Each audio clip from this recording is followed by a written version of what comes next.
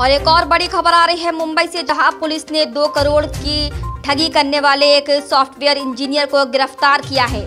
मुंबई से बड़ी खबर, जहाँ दो करोड़ की ठगी का मामला सामने आया है, पुलिस ने सॉफ्टवेयर इंजीनियर को गिरफ़्तार किया है और फ़िलहाल अभी दो अन्य आरोपी पुलिस की गिरफ्त से बाहर हैं, जिन्हें जल्द ही गिरफ़्तार कर लिया जाएगा। जिसमें से आज पुलिस ने एक सॉफ्टवेयर इंजीनियर को गिरफ़्तार किया है।